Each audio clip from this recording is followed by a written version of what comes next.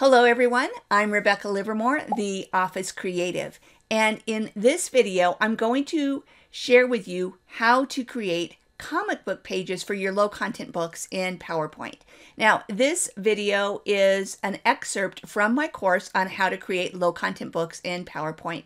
So if you enjoy this video, I've left a link to the course in the description. Without further ado, let's go ahead and dive into how to create comic book pages in PowerPoint. Now I'm going to show you how to make some more advanced comic book style pages in PowerPoint. All right, so I have my slide here. I'm again working with an 8.5 by 11 size slide, and you'll see why it's important to have the size in mind in just a minute. Okay, so what we'll do is we'll first start off by inserting a table and we will make it a 5 by 5 table. Okay, and I'm going to click in it and do Control A. And under Shading, No Fill. And then I'm going to go to Borders and All Borders. Some of these rows and columns narrow and they're going to end up being the spaces between boxes inside of the table. So first,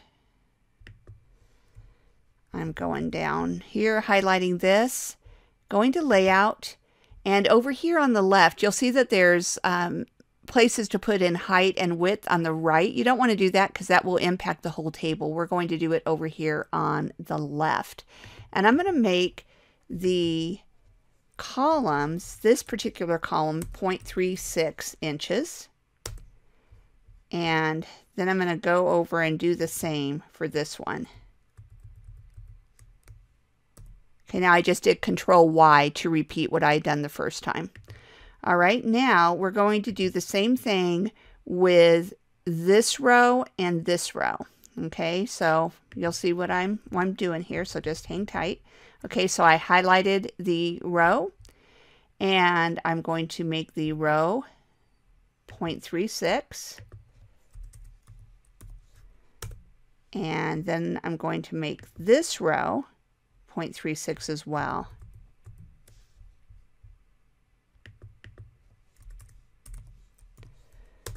Okay, now let's go ahead and move this up into the corner and we're going to figure out what size we need to make the rest of the cells. And this is where a little bit of math comes in, but don't worry, it's not difficult. Okay, so first we're going to figure out what width we want to make these particular boxes here. And the way that we're going to do that is we want it to stretch all the way across. Now remember, this was 8.5 and then there is a half inch margin on the left and the right. So we're going to subtract one because between the two of them, that's a one inch margin. And then remember, we made these columns 0.36. So we're going to subtract 0.36 two times. 0.36 minus 0.36 okay, and that equals 6.78. Now we have three boxes here that we're going to want to stretch across. So we will divide 6.38 times 3, and we come, come up with 2.26. Okay, now I'm in the first little box here, and I'm going to layout, and over here I'm going to put that number 2.26 and you'll see how it stretched it out. Now I'm going to do it again.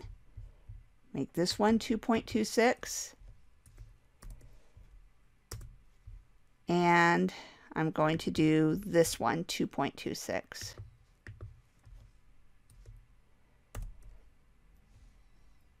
Okay, now you can see that that stretched it out to where it fits perfectly within our margins. Now we need to figure out how wide we want to make or how tall we want to make some of these boxes going down so it will end up filling up the whole page. So again, we'll get out our calculator. The height of the page is 11 inches. So we'll start with 11 minus 1 for the borders. That's 10.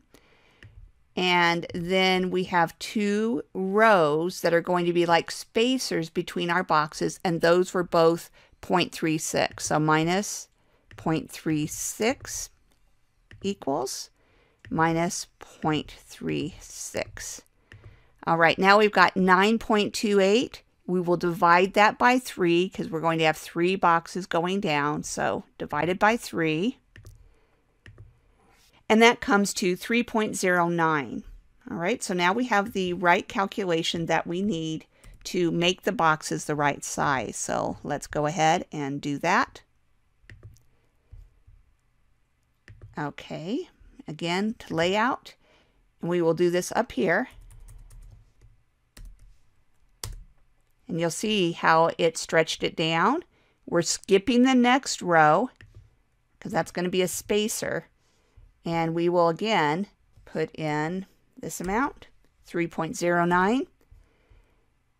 And we'll go down one more and do the same, 3.09 inches. Okay, now you can see that this, again, it fits perfectly on the page.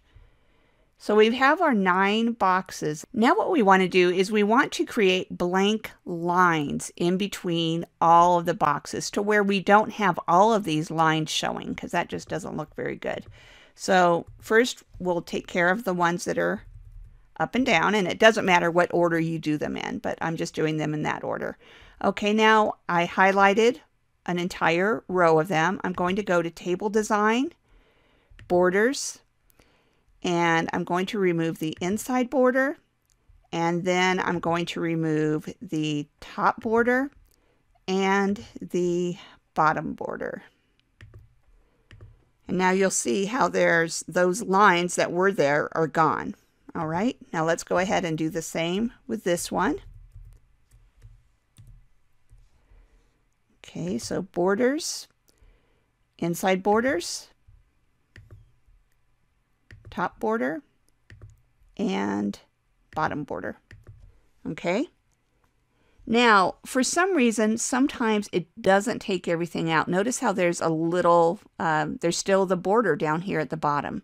Why that happens, I'm not real sure, but you just have to look things over and make sure that everything's correct. If there's something missing, the way that, at first this was real confusing for me, but the way that I figure out is I think, what do I want to have go away? And in this case, I want the bottom border to go away. So that's what I'm going to click on is the bottom. And now you see that that's gone. And by the way, the opposite is true. If you're missing a border and you want to add it, you think of what you want to add on, and then that's what you select when you're in that border menu. Okay, now let's take away these extra borders. Again, go to borders and again inside border. But this time, instead of doing top and bottom, we want to take away the left and the right. So borders, left border, and right border. And you'll see that now those are gone. And we will do the same thing here. Take away the inside borders, take away the left border and take away the right border. All right. Okay, now you have a good uh, comic book page that has nine rectangles in it. But let's say that we want to add a little bit of variety because if you're creating a low content book that is made for comic books, people doing their own comic books, it's going to get really boring if every single page is just like this. So let's switch it up a little bit. But before we do that, I'm going to actually duplicate this slide because I do want to keep one of those, okay?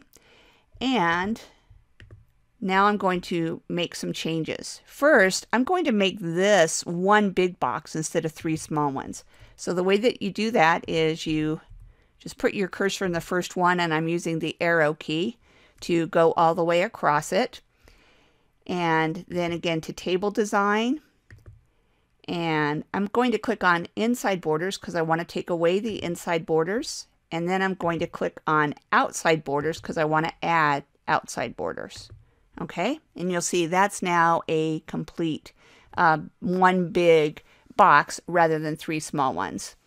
All right, now we have just one more thing to do. Let's say that you want to add even more variety. Let's go ahead and duplicate this slide, and that way we'll be working on a fresh one.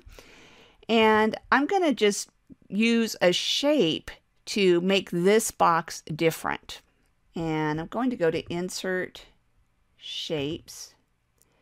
And let's say that I want to make this shape, oh, let's see. You can do any, any of the shapes that you have here.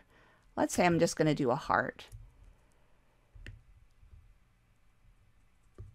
What I'll do is I'll make the heart the right size to go all the way to the edges because I want it to fill it up. And this is kind of making a weird elongated heart, but you can always change out the shape to something different if you decide you don't like the way it looks. Now we obviously don't want it to be solid, so we're under shape format and we're going to shape fill, no fill, and we're going to make shape outline black. Now, that's fine, but you see, you still have this one border around here. So we want to get rid of that. And I find it easiest to move the shape off, and then I'll, I'll add it back in in a minute. But then just put your cursor inside of the box that you want to replace with the shape, and then go to Design, uh, Table Design, Borders, No Border. And you'll see that took away that border and you can move the heart in there. Okay, and kind of fiddle with it so it lines up properly. But let's say you look at that and you go, ah, I don't really like that heart being there. So what you're going to do is just click on the shape and then under shape, you can click on shape format and that will bring up over here on the left an opportunity to edit the shape and you can change the shape out. So let's say that I want to do an oval instead. I'm going to click on that and automatically that becomes an oval. So you see we have uh, these are definitely more advanced comic book pages. I struggled with this particular technique when I first started doing it so if you find it difficult, but you want to create books that uh, are used for comic books or other types of sketching to where you want a wide variety of nicely laid out shapes of different sizes, then I recommend just experimenting with it and just be patient with yourself because you'll get the hang of it if you just practice. If you enjoyed this video and you'd like to learn more tips about how to use Microsoft Office in creative ways, be sure to subscribe to my YouTube channel and click on the notification bell so you'll be notified every time I release new videos. And by the way, if you enjoyed this video, I'd also appreciate it if you'd give it a like so that will help other people find it as well. Thank you so much and happy creating.